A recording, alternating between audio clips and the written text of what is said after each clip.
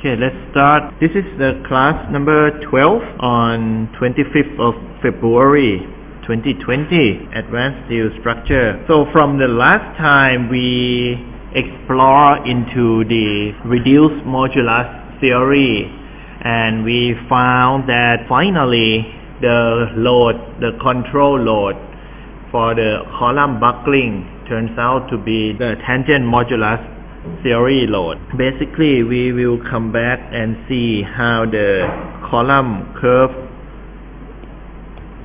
will be constructed from this tangent modulus theory. So we look into the relationships given here. We have uh, okay stress strain relationships of a material. It does not need to be steel. Okay it is some material. So at the very beginning of this uh, stress strain curve we have the elastic modulus which is constant over a period until it uh, well the stress hits the proportional limit or the yielding and then you have the new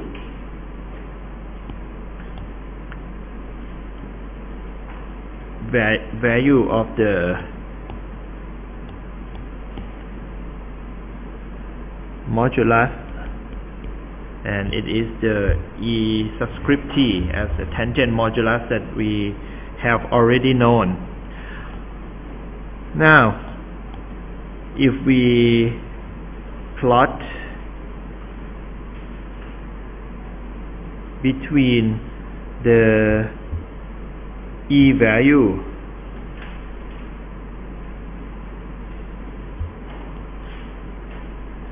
and the stress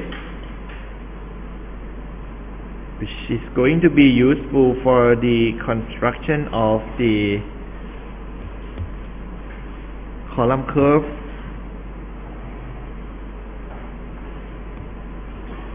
so I come down here to the new plot which is the E versus the stress. So your E starts from the value which is pretty much like a constant equals to E like this. And once you come down to the stress at proportional limit let me grab my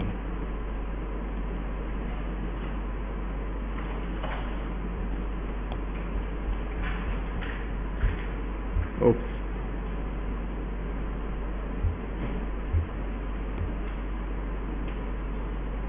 So which is here we have the reduced reduction or decline oh, my hands shaking okay. nah, nah, nah, nah. Mm. okay so your modulus drops so at any point it is the ET right? And then all the way to zero.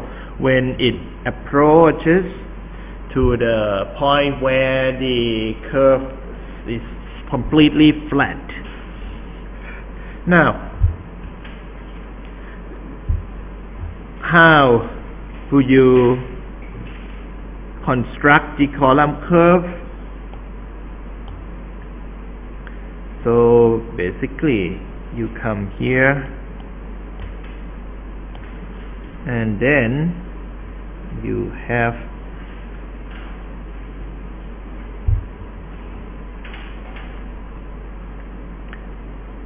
so either if you prescribe the sigma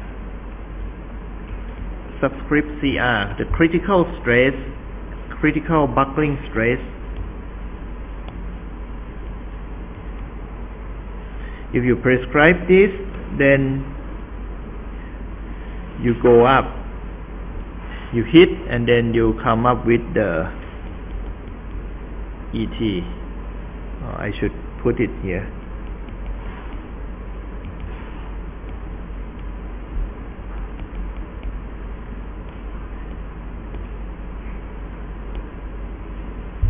Okay, so the column curve which was given by the sigma critical equals to pi square E over L over R all square up. And the E is actually the ET right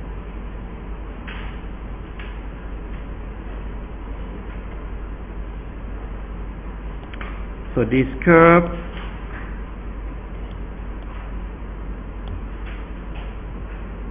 is going to be like this form L over R and critical stress and you used to see this as the elastic buckling. And at one point you have the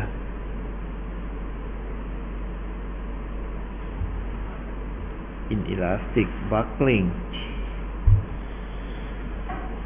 So now uh, let's look at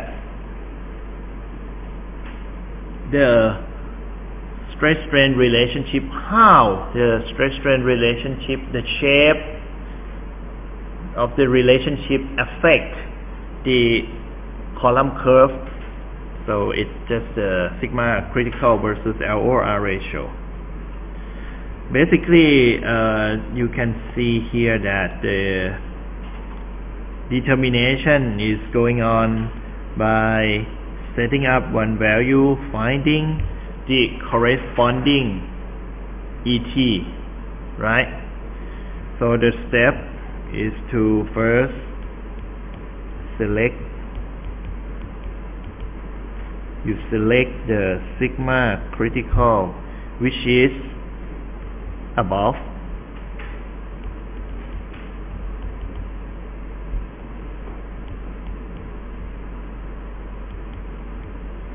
the sigma at proportional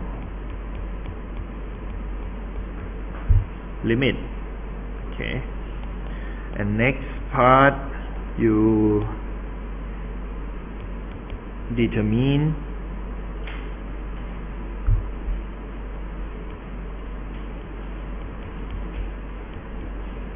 computing the tangent modulus which is corresponding to sigma CR okay. So you have two things in the equation defined.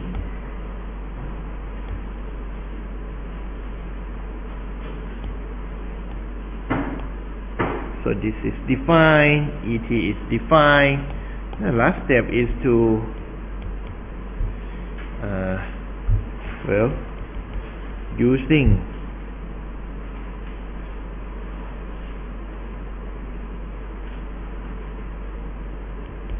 equation star to determine L over R ratio. So you'll be able to plot the green line. The brown line is simply just the that pi square thing. So pi square just the E over L over R all square up. You don't change the E. That's a relationship and another thing is uh, pi square ET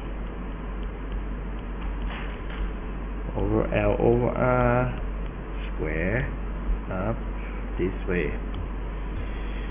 The point is that let's see uh, how the behavior will look like if the material is more or less like steel which is elastic perfectly plastic. When we talk about elastic perfectly plastic relationship we will see this curve instead.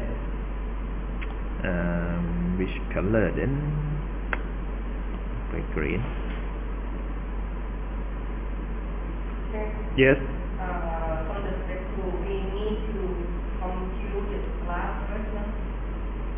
Compute the graph one second.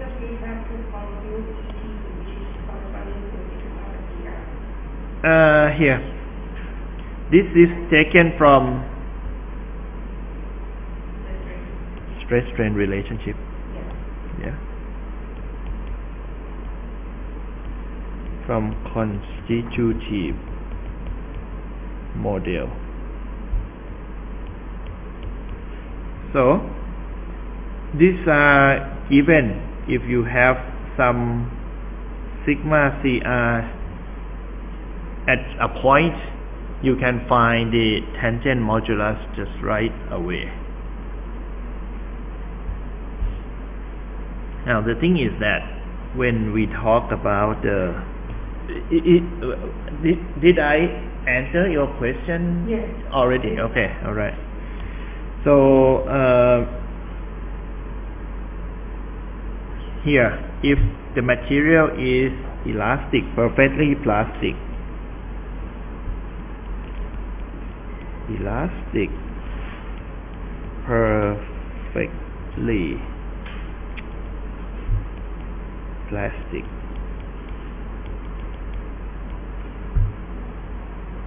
Bilinear. What is going to happen? The line if you look at this relationship instead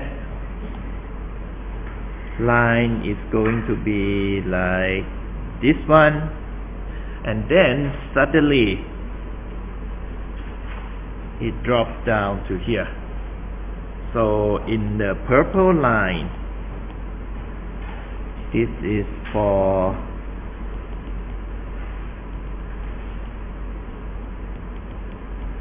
elastic perfectly plastic relationship. Uh,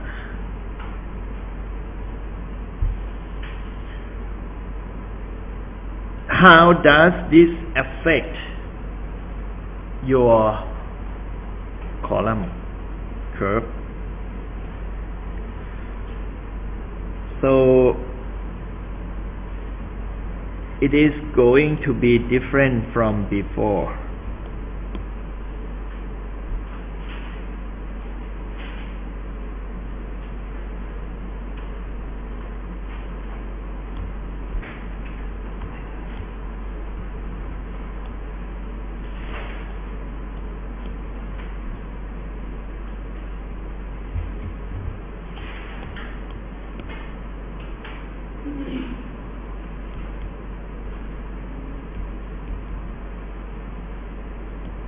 I the guideline somewhere. Okay. So this one, I make it the sigma y. This value.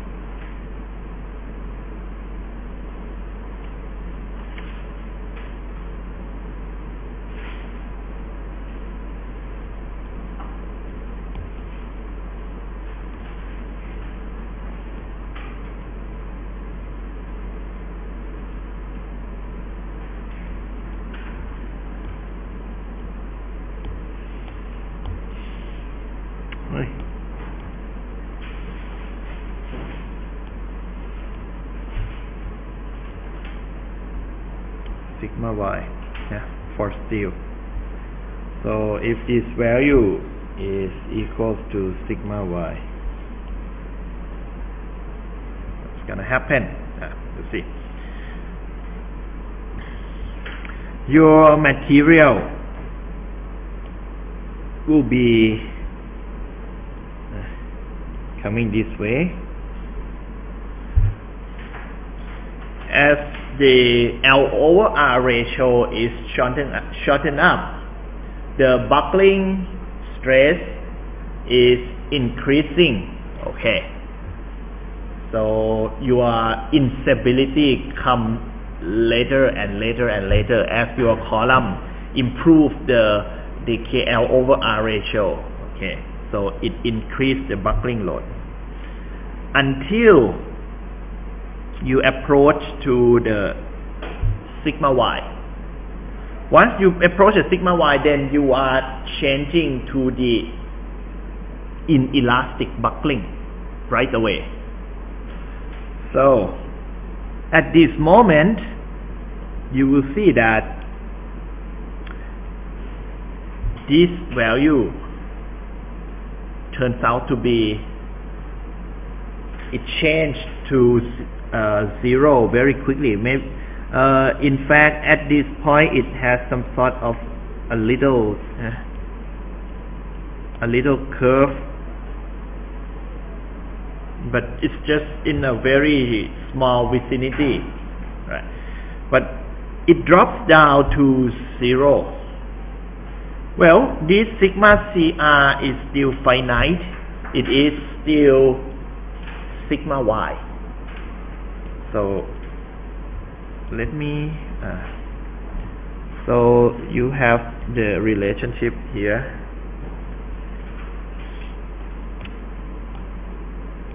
Sigma y is equal to pi square e. Now it is changed to et l over r all squared up Now it turns out to be sigma y. That means, okay, even though ET is approaching to zero, this one has to be in the ratio of 0 dy by sigma y. It is smaller. Okay. Alright. So, uh, at the transition over here, small transition over here. The value will just quickly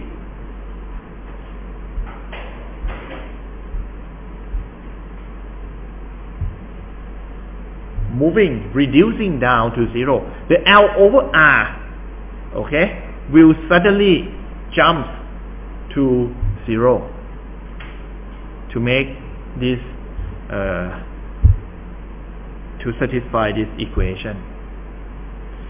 So, what I just want to say is that this is the reason why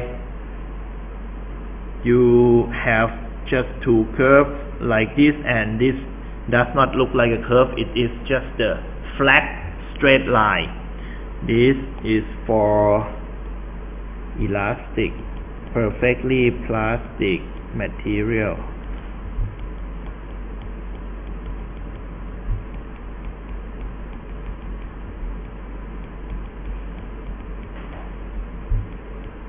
like uh, steel. You expect the sharp transition in the column curve. So sharp transition from elastic buckling to inelastic one.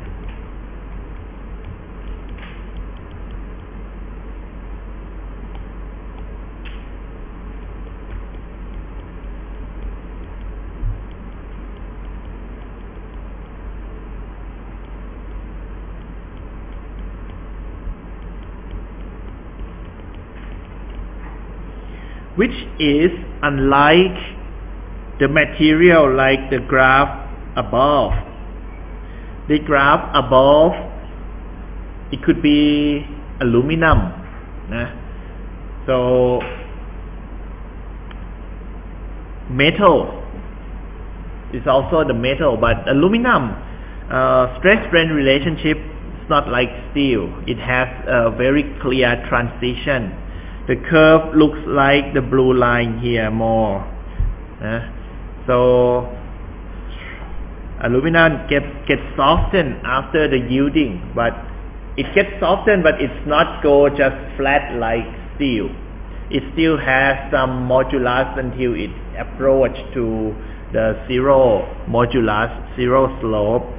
So you will end up with this curve if you construct your column curve uh, column curve according to the instruction given over here. So you end up with two different behavior.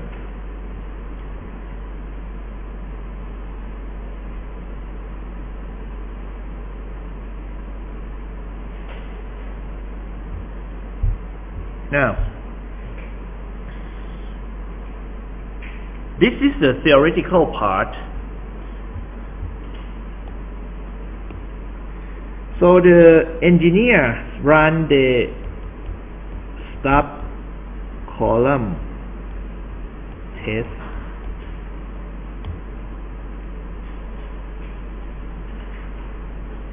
Stub column test. This is the steel column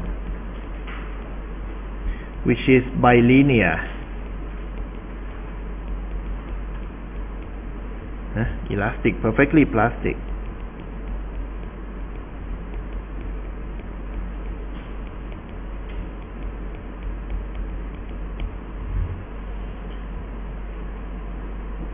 you are going to expect the same column curve that you saw before in the previous page.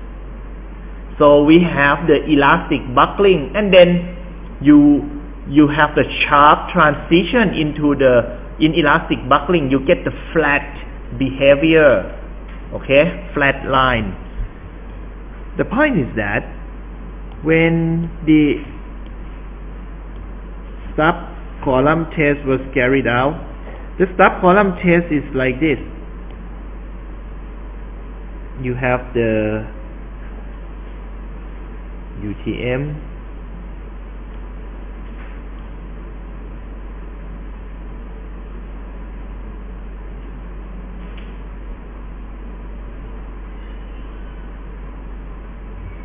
and you have a column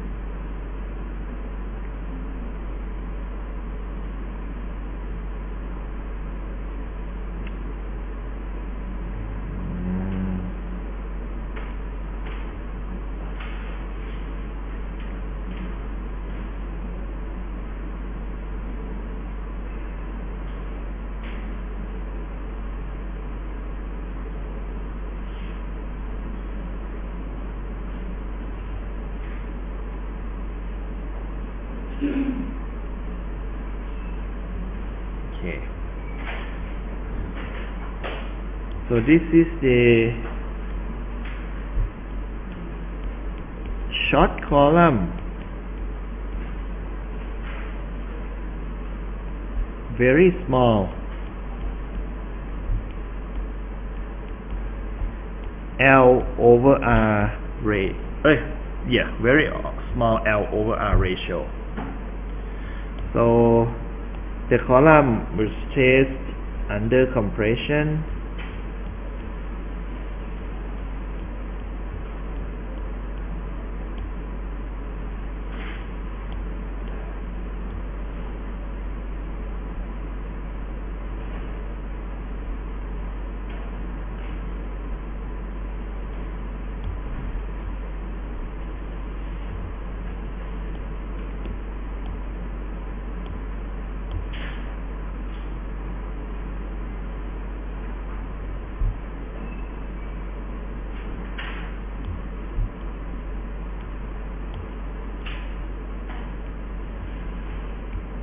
well The LOR ratios also vary,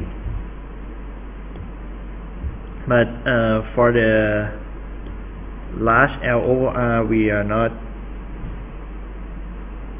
interested in.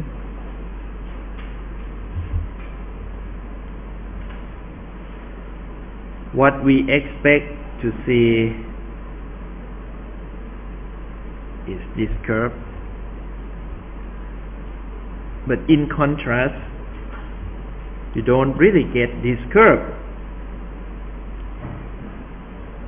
You get another curve.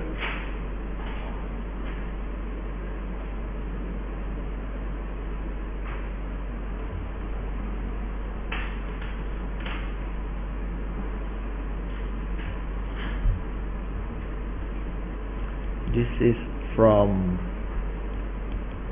stub column test.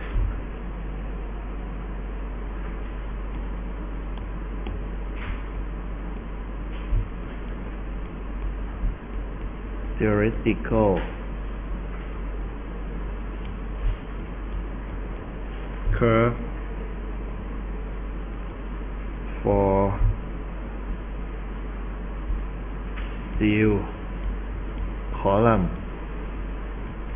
when I say steel I mean elastic perfectly plastic material which is only steel in in I mean in in our dictionary only steel for structural engineer dictionary. Clay behave uh, pretty much like this also but we we are not uh, considering other things which is non-structural mat material. Okay so what happened? Why doesn't the test result from the lab? Why doesn't it fit with the theoretical one?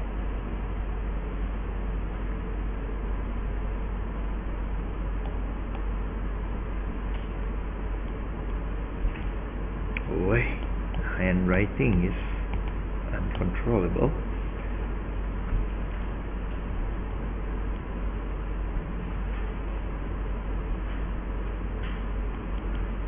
why isn't the test result match with the theoretical curve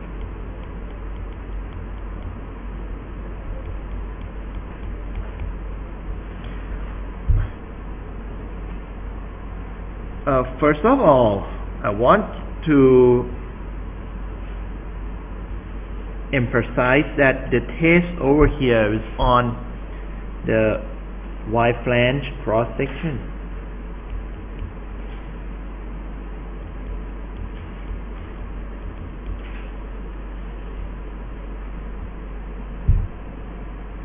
so it's a real column. It's not like a piece of solid steel square shape cross section like that. This is the real wide flange which is uh, generally used as a column.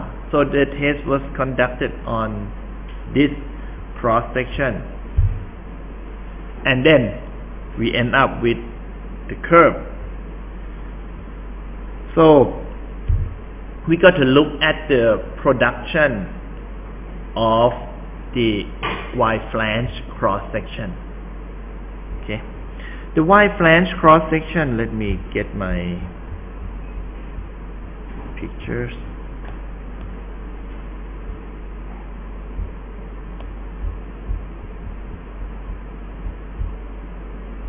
The wide flange cross section uh, what?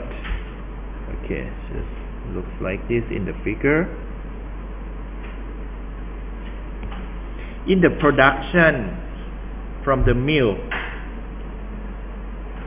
due to the geometry of the cross section the cooling rate are different.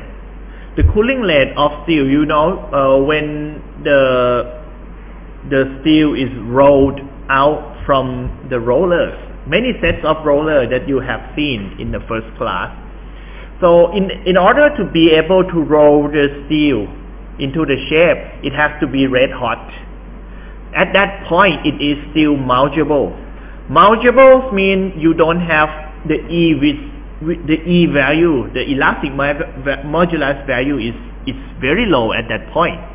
So as E is very low, it cannot mobilize strength, it cannot resist. As it is squeezed, then it just deforms pretty freely, pretty freely. It might have some resistance, but very small resistance. So it is in the mountable state. And then once they uh, once the cross section is rolled to the desired shape, then it is left to cool down. Cool down by the air, uh, which is quite fast. You think that the air cool air cooling is slow, but in reality, that could be the technique. There are several techniques that people use to cool down the steel in a very very slow rate such that the structure inside is perfect. You don't have the residual stress. It, it will be very low. You have uh, the desired ductile microstructure of steel okay? But that is not feasible in an economic point of view because to anneal every single piece of the produced cross section that that is the tempering or annealing right? If you used to hear these words.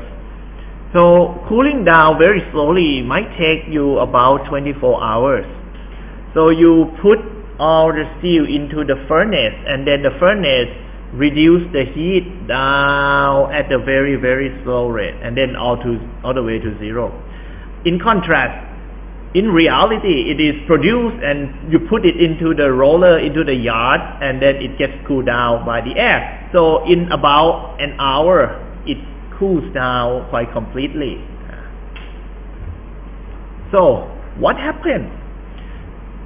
that depends on from one to one geometry. But I will just highlight this is quite general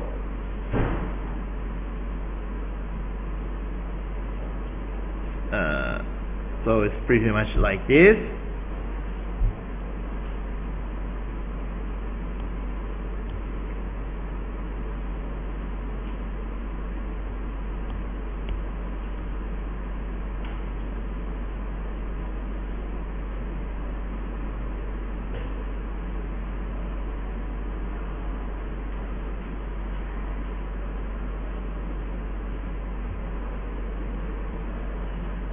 it, this is for for general cases.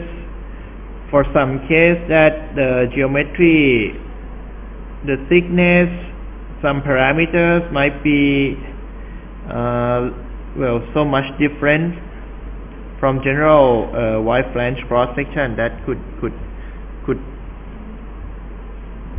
affect uh, the cooling rate in in a different way. But uh, here in the red uh, in the shaded area it cool. Mm, cool down slower due to the small exposure to the air. If you compute the circumference of this area, shaded area, okay, divided by, oh, you take the, you take the area, divide by circumference, uh, uh, let's call it the d, uh, if the, you count the circumference, So the circumference of the shaded area uh, implies the exposure to the air. Okay? Circumference I mean is this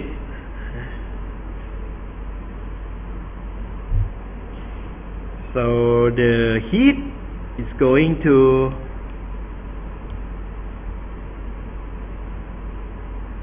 come out.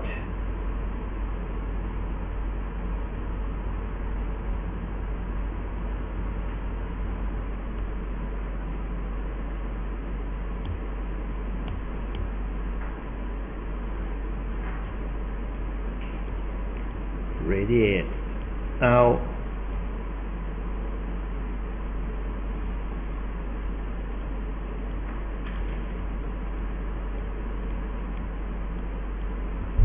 In fact, other areas also radiate. But in a faster manner. Because we have so much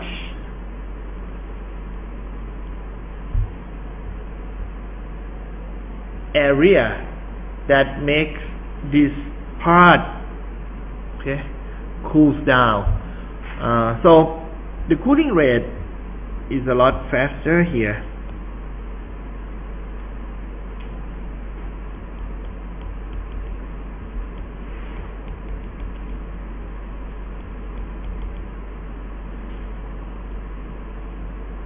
compared to the core area. The core area you have a lot a large A divided by the circumference. The the tip of the flange or maybe the mid part of the web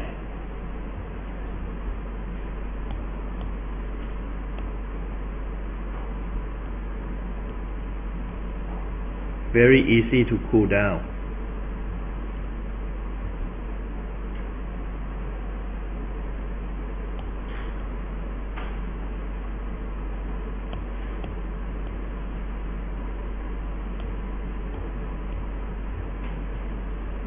So I call it this way area divide by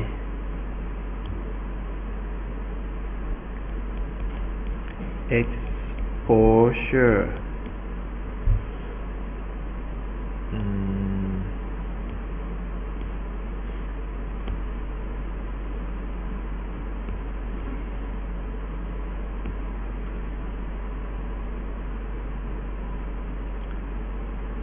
Area is not so correct I call it volume okay. Exposure area okay. This sounds better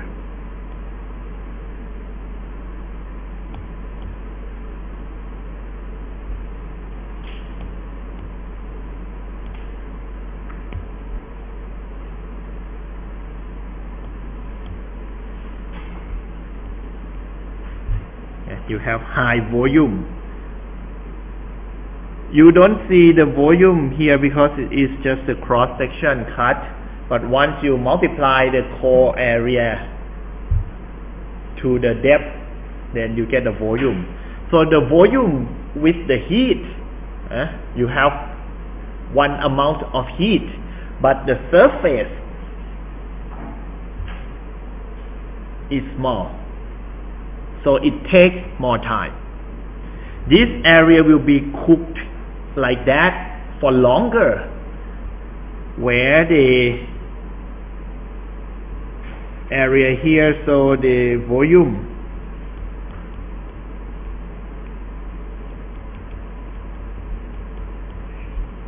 exposure surface if we want to call Uh, the ratio this ratio is smaller. So it cools down quickly.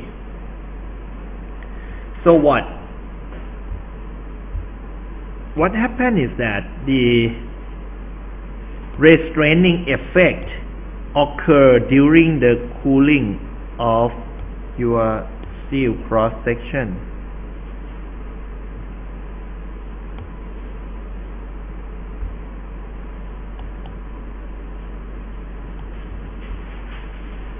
So we come to this picture again and take a look at it.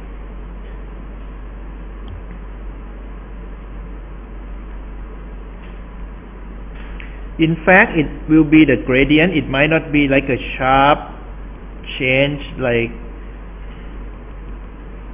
one rate to another in, in, in just quickly like uh, in just uh, in that transition like that.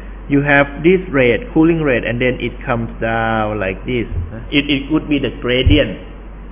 But I, I just draw there to illustrate you the idea that if we just divide the area into two uh, major zones, the fast zone and the slow zone, like that. Okay, here is uh, the reason why some area you get uh, the really slow cooling rate.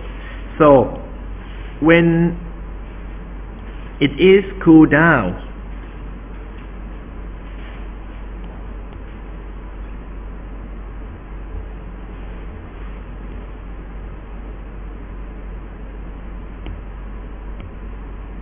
maybe move it down.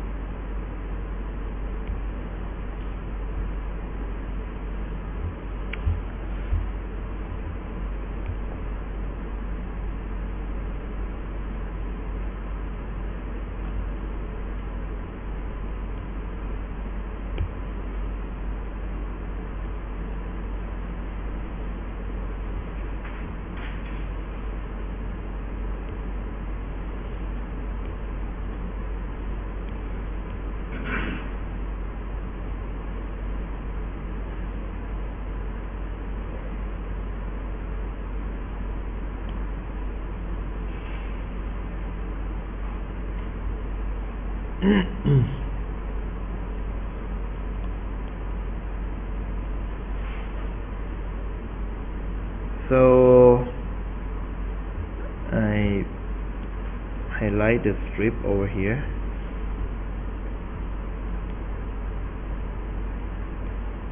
Ah, okay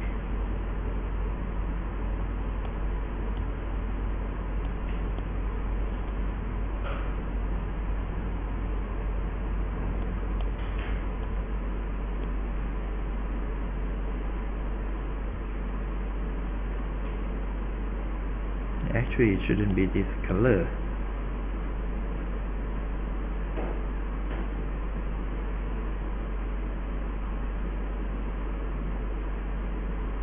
Ah, okay.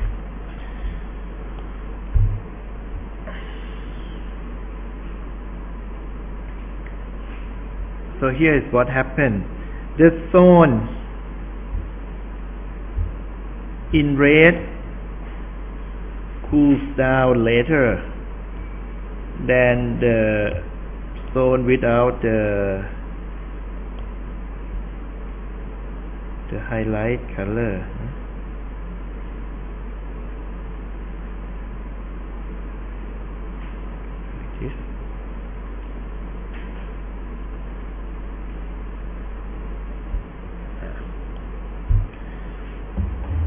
Red cools down slower so this part here, the white zone are well established, well hardened,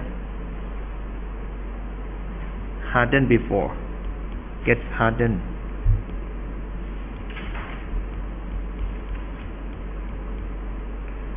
Before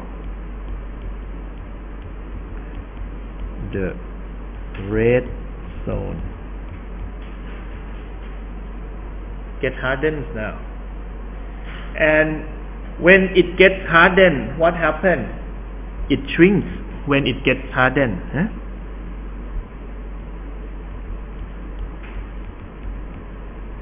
When the material is cooled down, you have the shrinkage. So it shrinks, gets hardened. Whereas the red zone is still red, it still have no modulus, uh, still very malleable and softer than uh, the outside zone.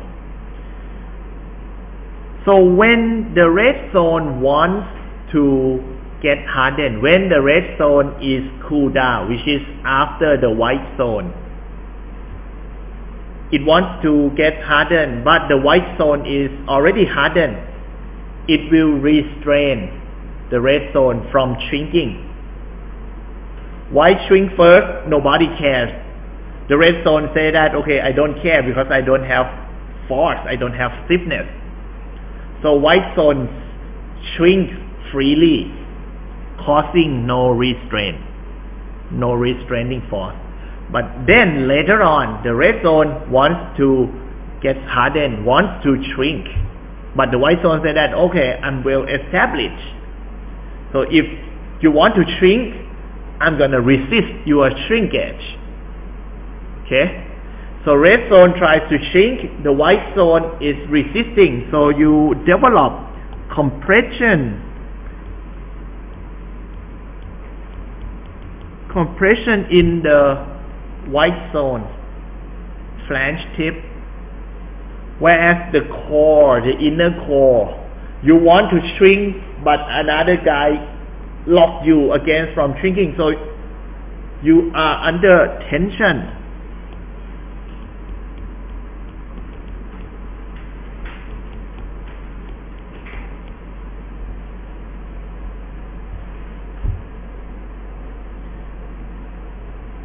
So this is the residual stress profile that you gonna going to have from the steel cross section.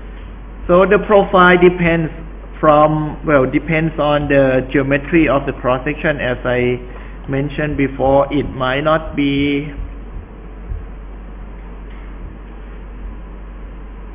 just the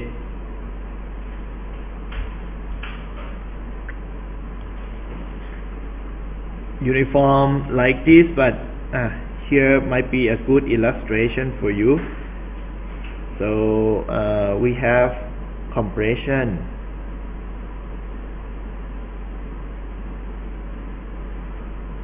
And then tension. And then compression. Shape like this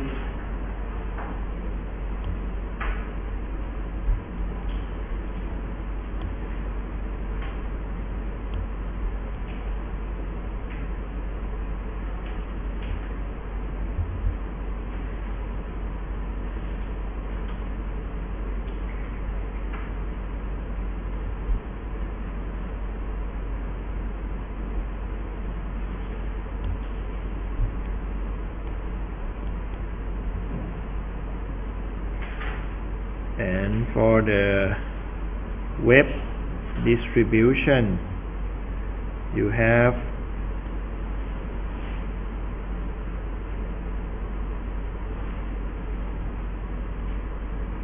uh, looks pretty much like this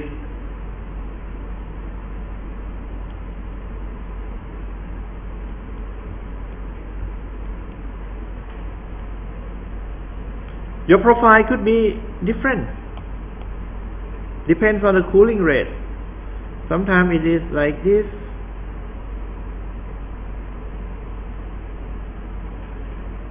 Sometimes it is like this. That's totally upon the cooling rate, but okay, just just a simple idea. You expect residual stress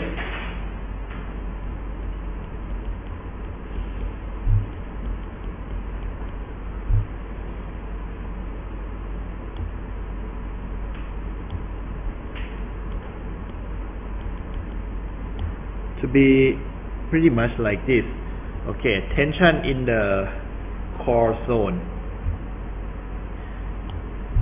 So what happened? How does this affect your column curve? Because we, we were just talking about column curve, right? How does it affect? Now you look at the your column at various states.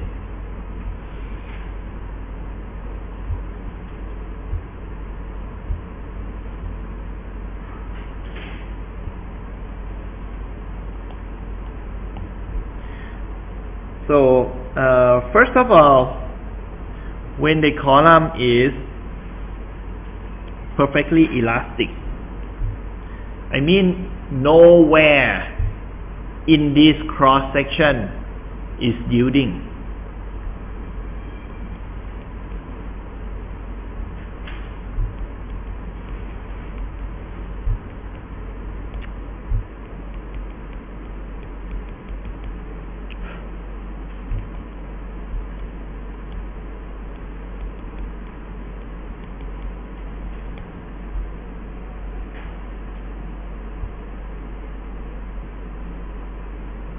Another side is the perfectly um, plastic. So this is the full yielding. But you have the intermediate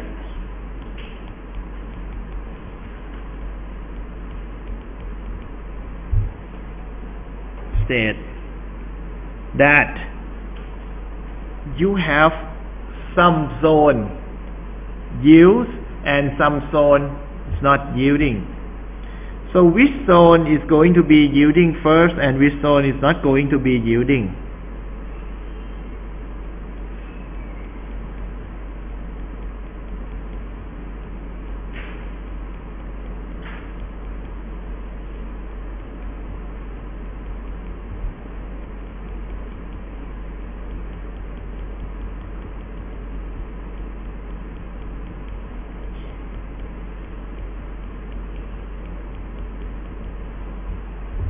Which zone yield? The compression zone is going to yield first. The the uh, the zone of which you have the residual compression will yield first because you are testing this column under the compression manner, right? So here is what happened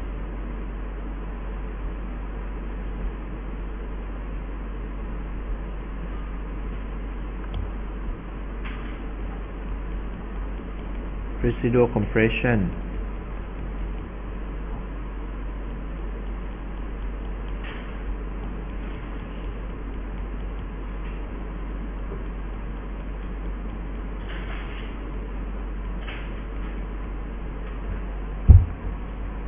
So this zone uh, are expected to you before.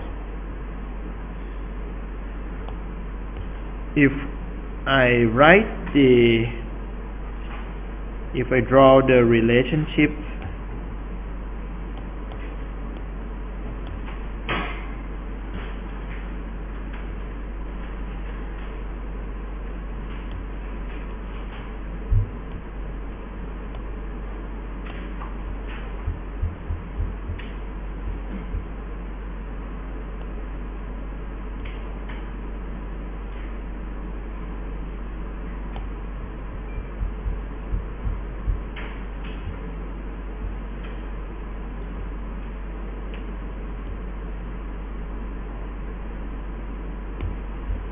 like this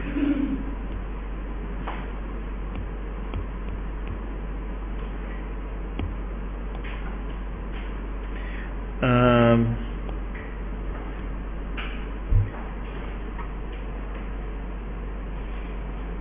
this is stress and this is strain. Stress is average. It is computed from the force okay? It is not the stress at a point. This is equal to force divided by the area. It is the average column stress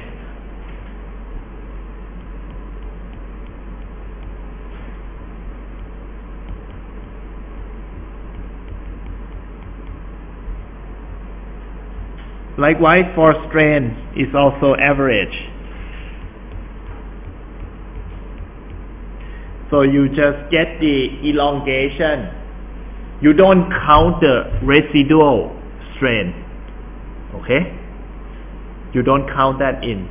You might have maybe 400 microstrain before the test in some area. Under tension, under compression, it's fine.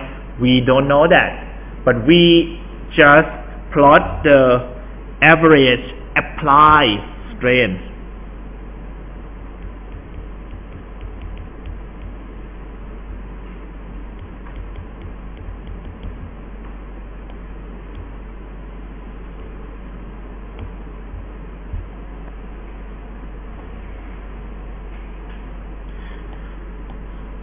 So for the normal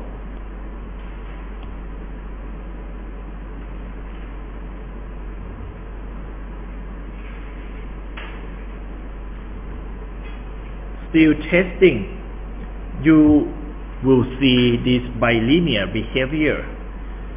Loading up to the yielding and then the, the graph just turn into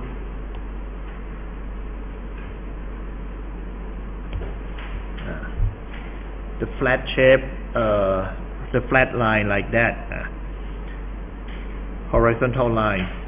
So the sharp behavior, sharp transition.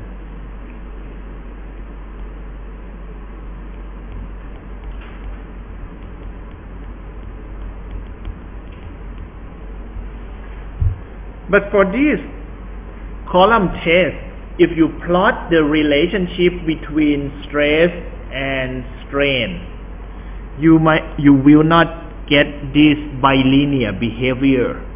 You will have this one instead. Hmm, which color then?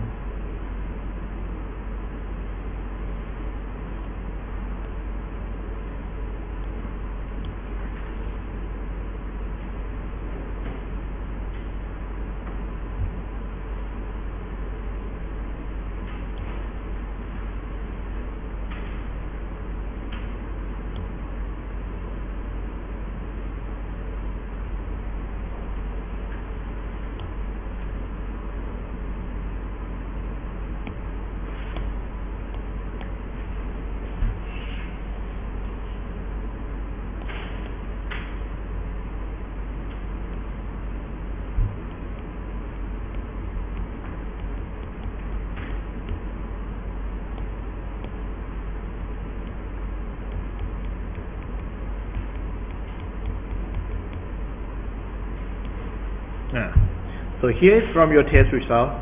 It shows this behavior. It shows the smooth transition. It shows the change, the gradual change of the slope from E to zero. It does not go like E and then one point drop down to zero, zero suddenly. This shows the transition. So if I were to plot the point just right on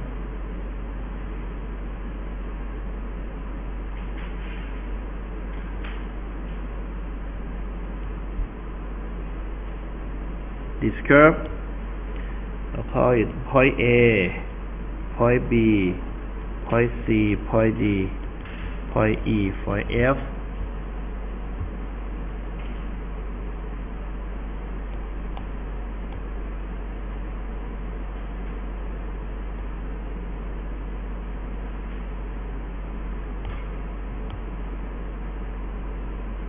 So this is point A and B.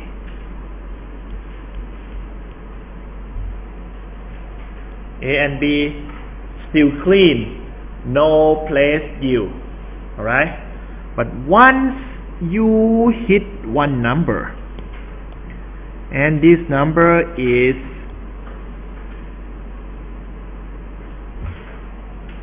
corresponding to this gap.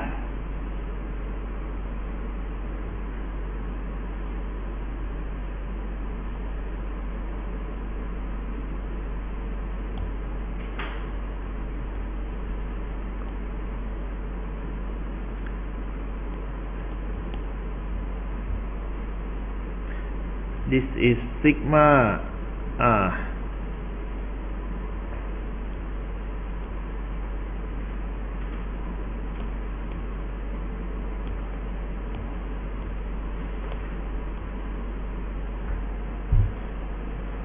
if you have sigma r, you don't need to come all the way down to sigma y to yield, right? Because you will need the stress level just equal to sigma y minus sigma r, and then you will start yielding. So once you hit that point, your behavior is no longer elastic it starts the nonlinearity. Well, if you have just the relationship like this, constant and then like that, so your slope will be pretty much like like this. It, it, it will not show the, the curve, it will be just trilinear relationship so one area U, then your your overall EA of the column just change gradually to the another number. But if you have some transition like this, then you are going to get the the curve there. So this intermediate transition zone that it depends on the profile of the residual stress, how it looks like. But anyhow, this is the C and D. So you have some zone yield and some zone not yield. And once you go further, the zone that is uh, subjected to the residual tension will yield the last, right? So you have the E and F. This is just the full yielding, so all zone uh, yields.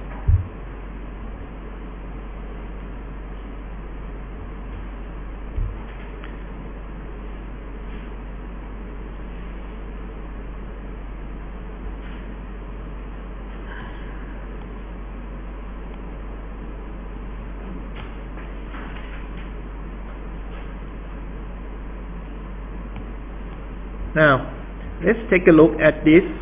So this is what I just mentioned. This is the stub column test.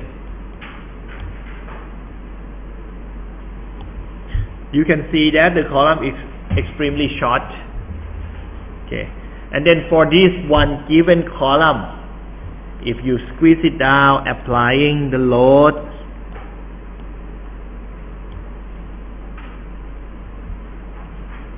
Like this. You expect to see bilinear only bilinear behavior if you do not have residual stress. But as the residual stress present you have the curve with transition to the plastic state. You see uh, dial gauges, so they are for the overall displacement measurement. Actually, there must be a few, uh, two more on the back, so there are in total four dial gauges for the column shortening and then all these four gauges will be average. And I think this area uh, it is the finite gauge length. This is for the strain calculation in in the in the middle zone. But that will be pretty much the same as the information you obtain from the, the corner gauges and divide by the entire length of the column. One reason why this one is applied might be because of the, well, they might worry about the, the boundary condition. So, if there is some sort of restraining at the boundary, at the support, uh, that could affect the, the strain distribution. So, one gauge here is installed to, to pick up the strain, the strain in the zone that is not disturbed by the boundary condition. Sure. Yep. How we can make sure that uh, the local buckling will not occur? Make sure that the local buckling will not occur. Of, uh, on some web or some part of the. Well, they, they, they check the, the cross section, make sure that it is compact, and before they run the test, as they want to check this point, so they make sure that, and even after the test, they, they check if there is any local buckling or not. But the point is that the column is extremely, extremely short, uh, and, and, and compact cross section as well, so, so no such thing happen. And from this test, the test was carried out on uh, steel wide flange column. So you see over here that this is the expected okay first Euler buckling no problem. That is well predicted by the theory. But for the inelastic buckling zone you can see that the curve they have from the experiment do not match with the red line. And let's see, we have two sets of data point and two sets of data point illustrate as the idea, uh, justify the idea about the residual stress issue. So you have the white and solid black dot. The white dot is the as deliver column. As deliver column means the column is not annealed. The column is produced from the factory and air cooled, let, air, let it air cooled and then delivered to the site. So this is the normal column used in the construction. Another one on the black dotted is a, a new column test. So this is special. This is not available in the market, but this is done in order to prove that the effects of residual stress play this role. It affects your column curve in a bad way. in a bad way, really, right? So you can see that the anneal column curve the anneal column curve is quite close to the theoretical one you expect. You are not getting 100% match to this line, but this is very good. In comparison with the line you have in the white uh, hollow, okay, marker that drops down from this point.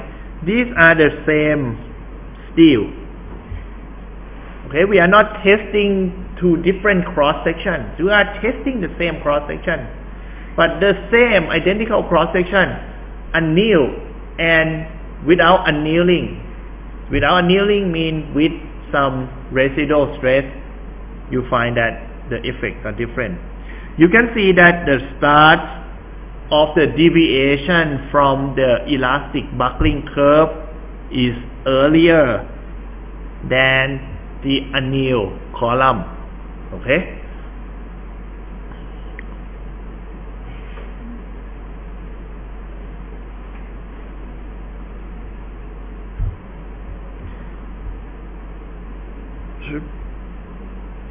ah, here.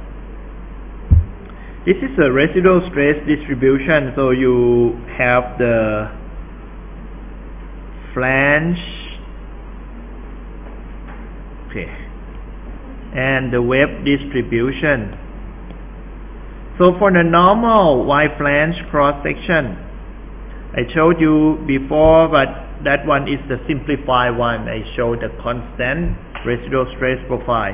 In reality, you expect to see something pretty much like this uh, compression in the flange tip, but it is varying, and then tension in the joint zone, in the core zone. Whereas for the web middle part under compression and uh, two sides participate with this core zone. In general, for wide flange cross section, tip, tip, tip, tip, and mid, okay, are under compression, residual compression. These area are going to yield first. Many times you are not using the commercial cross section, you use the plate and you well you build up the plate to make the cross section. So let's see what happened in this case. This one is made from just the plate. Universal plate means you will connect the plate together using just the bolt and nut or rivet system. Okay, so without welding. So without welding, ah, you you look at the plate. The plate itself, even just the plate, not the wide flange cross section shape, is subject to the temperature gradient during the cooling down process. So the plate, only one plate, if you divide the area on the on the side of the plate, you have the U shape like that. On the middle part, you have just two surfaces like that. So radiation is coming out through these two surfaces, whereas this goes out from three sides. Okay, so the cooling rate on the edge is faster than the center like before, pretty much like this one. Okay, so you have the heat zone in here, so this is under tension, and uh, cold zone will be under compression. Likewise, this middle plate, the web plate, it is also the plate. So it is subjected to the same cool down mechanism. Web or flange, wherever it, they are the plates. And the plates cool down faster at these two sides. Okay, so due to that fact, this you have compression on two tips and tension in the middle. So it switch from one uh, case above to this one. The case above, you have a lot of influence from the joint zone, the zone, the core zone, right? So you have tension in there. Ah. But now, if you move to the welded cross section, the welded cross section you can see that you have a very bad residual stress profile. Very high compared to the previous cases. Factory roll, well, not that good, not that bad. Universal plate, better than the factory roll, lower lower stress. You go to the weld. The weld construction is on the cool, perfectly cool steel plate. You put cool steel plate at room temperature together like this and then you start welding. The welding cause you the spot temperature peak. So high temperature will be in this area. When you weld, the steel turns out to be the liquid state. So that is even worse than even worse than the rolling. Because rolling, you need to shape it to the bloom, shape it to the rod, né? Eh? and that you still have some strength to maintain the shape, but it is not too hard to change. But when you weld, it is completely liquid. It has no capability to maintain the shape. The steel liquid, liquid steel, okay, is in this zone. So temperature is 1000 degree Celsius. As the temperature gets so high like this, whereas the other zone still temp- room temperature cool. So you have the temperature gap of like 1000 degrees Celsius. And then this part cools down. So it cools down from 1000 to, to 30 degrees Celsius.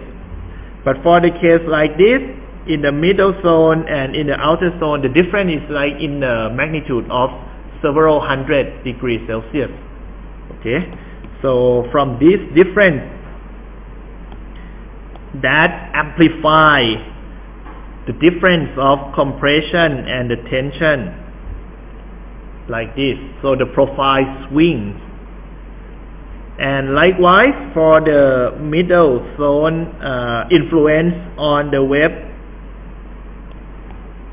is large enough, okay, of course. So the part that connect to the flange is subjected to high residual tension and the midpoint is under residual compression. For the rivet, okay, the plate is the same. So the plate on two sides you have compression, mid part you have tension. So not change, but uh, how about the part here?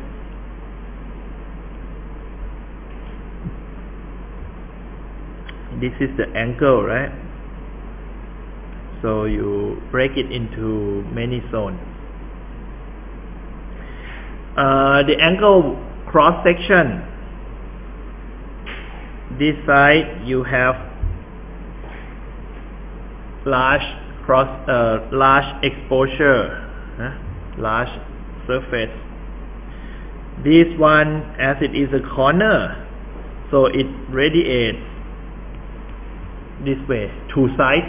Before it is connected like this, when it gets cooled down, the radiation is going on in in into sides. So the core zone area here is not cooled down as fast as this to outer zone. So you have compression, compression and tension inside. So profile like this. But but still this depends on the the thickness and the geometry of the cross section. If the L or the angle is thinner, maybe the profile could be different from this one, or thicker, it could be uh, different from this one as well. So this is subjected to the the geometry of each cross section you are you are working on. Okay. But then you will you see that the in uh, the severity of this problem is gonna going to be more in uh, going to be a lot in the welded cross section. And the thing is that if we come back to this picture what do we expect? So for example I might draw the line that if you build up the cross section without using the weld, so you just use the plates connect together by the me mechanical technique, mechanical approach, no heat. That is the scenario where you have the least residual stress, right? The magnitude of residual stress is the smallest compared to the other cases And when we draw the line in this stress and strain relationship, we're gonna get the line which is pretty much like this. Whereas, okay, the purple line could represent the cross section from the hot roll, hot rolling technique. Ah, turns out to be the purple one. And if you weld, build up your cross section by welding, you could end up with this line. So the higher the residual stress in your cross section, the earlier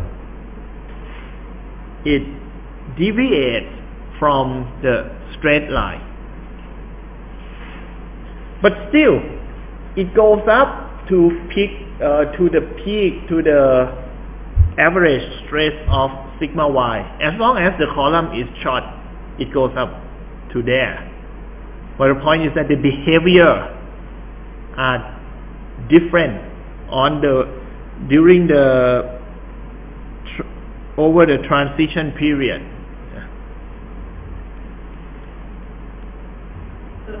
How to get residual stress? How to get residual stress? That's not getting Many ways. Some ways is uh, to it is like in a steel structure. RC in your RC beam or foundation or slab. Okay. Sometimes you want to know the current state, current strain or current stress in your steel reinforcement. It can be done. So we install the strain gauge. You place it in the existing structure. The, for example, I want to know stress in this column. You said, well, you, you cannot know it. It is already loaded. It is carrying the load. How, how do you know that?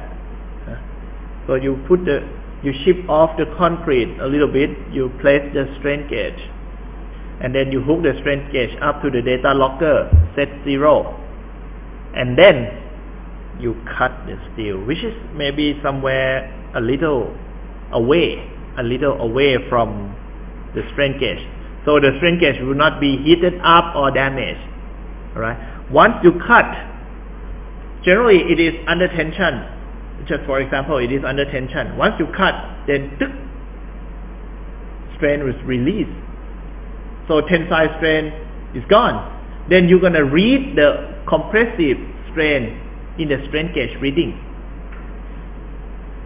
That is in the RC. How about the steel?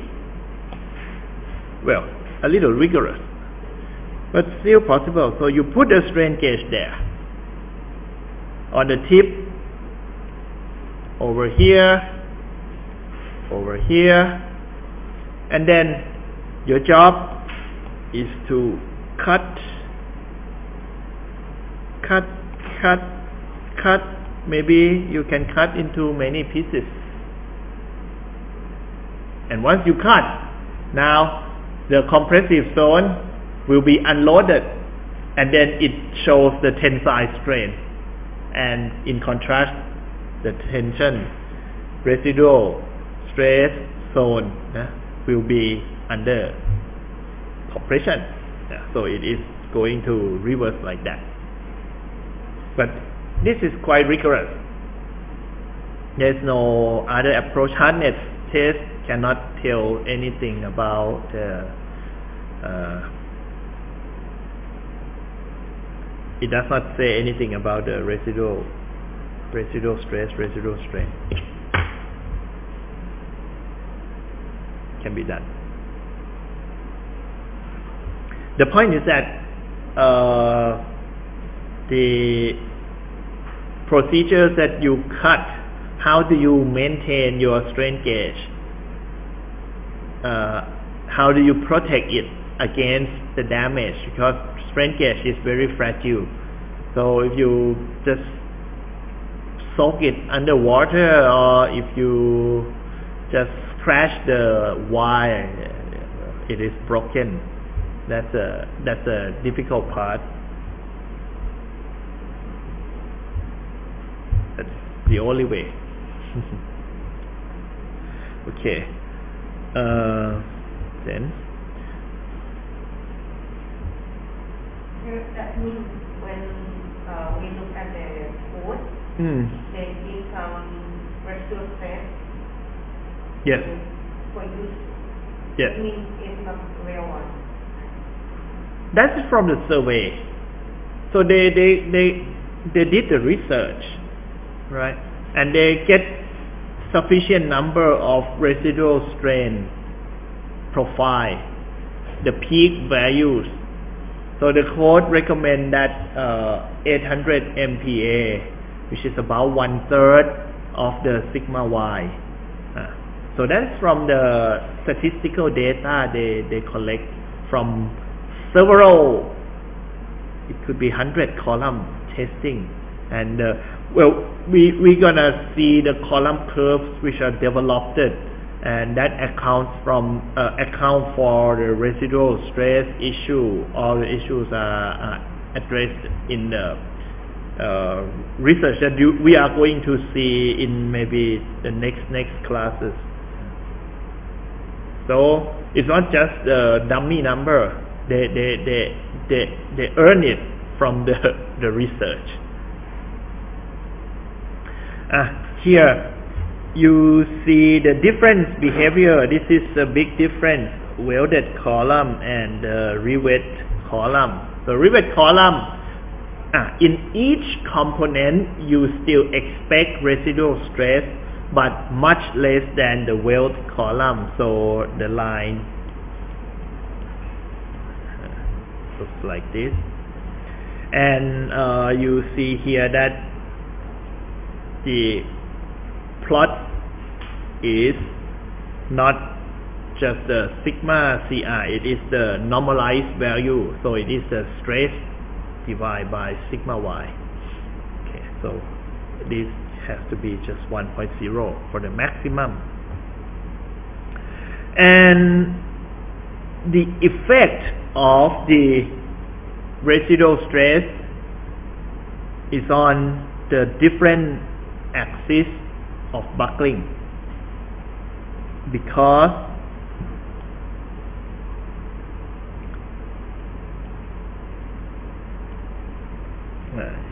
this is the zone that is under tension. So the white zone will be yielded under compression first. So if you take the buckling axis like this about the y-axis, you can see that the column here is prone to the inelastic buckling. You, you get more effect from the residual compression because as soon as you approach to the compression yielding of this area, the E will drop drastically and the E of this tips area contributes to the buckling about this axis, right?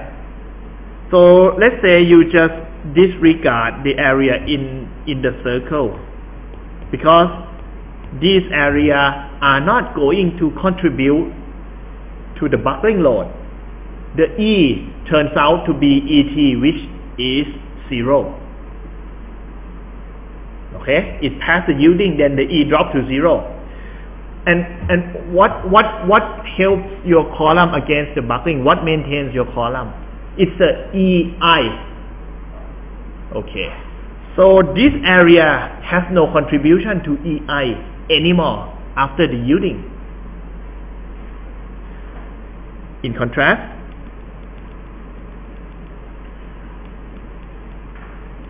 if we change the buckling, the, uh, the axis, so we look into the buckling about this x-axis, what happened? Well, when it approached to the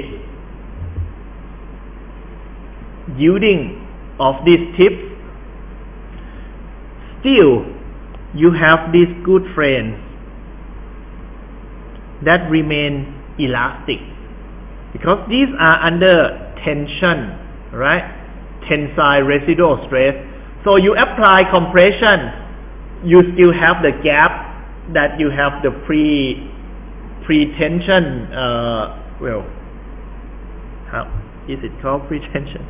Well, residual tension, so it, it's gonna offset and you get to the yielding uh, slower. Uh, so uh, this is still elastic. And this is far away from the neutral axis, right? So it has a large contribution to the EI value. So about this horizontal axis, the behavior is better. As you can see, what? Okay. As you can see that this is the line for the buckling about this axis, strong axis, whereas the weak axis exhibit the worst uh, behavior which is caused by the residual stress.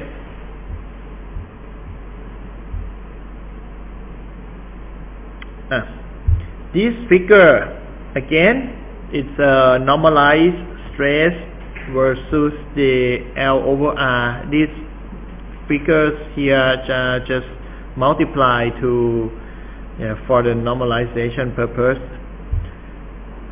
So tension coupon looks like this. We expect it to go this way. This graph here does not shows the variation which is caused by the different cooling rate or different assembly of the column. But this graph shows you the effect from the steel the yield strength of the steel to the column buckling uh, buckling curve the higher the strength of the steel used to make the column, the less effect you will get from the residual stress on the column curve. Why? If you have this, previously we plot the sigma and strain. If you plot sigma to the sigma y, with the same magnitude of residual stress, the high yield will exhibit behavior which is better than the low yield. Ah, you think about this. If we use 240 MPa grade, uh, 240 MPa and residual stress is 80 MPa okay? It is one third if you use 400 MPa your residual stress on the very same cross section geometry will be 80 residual stress will not change with the steel grade steel yielding strength. Because residual stress comes from the thermal mechanism from the cooling down mechanism so you use high strength steel or low strength steel. High strength steel has the elastic modulus equal to 200 gigapascal. Low strength steel 200 megapascal as well. So the stiffness that caused the restraining, that caused the residual stress are identical for two different grades of steel. Uh, the part that caused the residual stress are first thermal coefficient นะ expansion and the E and alpha and E are identical for all steel grades so you end up with identical profile of residual stress so with this identical profile you see the fraction 80 to one third, uh, to 40, you get one third. 80 to 400, it is 1 over 5. It is just 20% compared to 33%. So, when you see the uh, gap there, if your sigma y is not high and sigma r is well large let's say one third you might have this band so start of the yielding is earlier whereas when your sigma r is small compared to your sigma y this behavior starts later. So the study here just showed you that if you use high strength column, you get better column curve for the same level of residual stress. Okay. The worst one turns out to be the build up. Uh, okay, build up is also included in here. Uh, rivet, build up, uh, good behavior. Just a little away from the high strength steel. Roll, uh, this is from the factory, so it's it shows uh, many different uh, techniques for the production of the steel to the column curve response. Okay, so we will continue tomorrow. We will run the calculations in order to get the column curve by accommodating the fact that we have residual stress in this column. Alright, see you tomorrow.